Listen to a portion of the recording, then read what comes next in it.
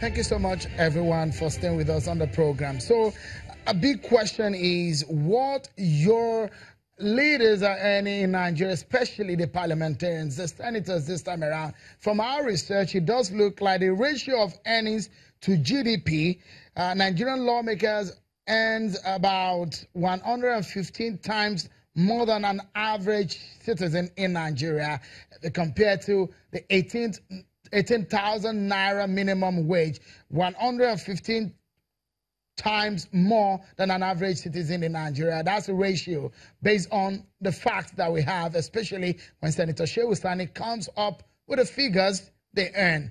13.5 million running costs monthly and 750,000 naira. So let's get back to the conversation. The chairman of NRP, let's get his views on this, Mr. Tope Fasua. For what do you see on the ground?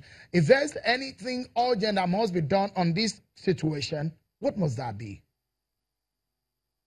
Well, I think it's a total overhaul of the system we're talking about. Uh, Honorable here has mentioned as much. Uh, why did we buy the American system, hook, line, and sinker, and off the shelf? Uh, who said that we cannot tweak with it, even if it was we wanted to do presidential? Uh, the Americans they vote for. Recently, we've seeing all this debate about um, um, uh, federating units and all of that, and how the governors want to pocket the local government. In Americans, the sheriff stands up for, stands to be voted for.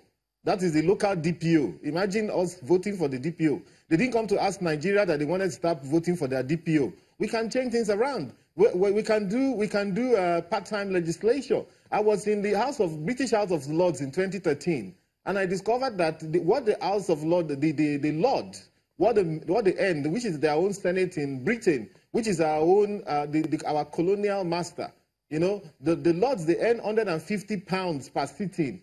That is uh, equivalent of 75,000 naira per sitting. And that is all they earn. And that is if they come for sitting. If they don't come for sitting, they don't earn. It used to be 300 pounds. When the economy went into a downturn, they went and talked to them, and the babas there, they said, why not if not? These are accomplished men. Look at our Senate. The first thing that caught me when you show those pictures is, you see how scanty the place looked. Maybe half of them are on seat at every point in time. And then a lot of them are sleeping.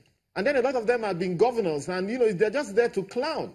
So what are we talking about? In a country that should understand the urgency of now, we're basically joking around. So to a large extent, but perhaps we even draw this home. The, the Senator Sabi Abdullahi was talking about the intangibles they do and the laws they make, and uh, if they didn't make, I don't know what, where, which are the laws, which breakdown of law and order have we not seen in Nigeria that would say that the Senate uh, the laws that are passed in the National Assembly could have prevented. They have not prevented all the clashes of herders and farmers. They have not uh, prevented Boko Haram. They haven't done anything.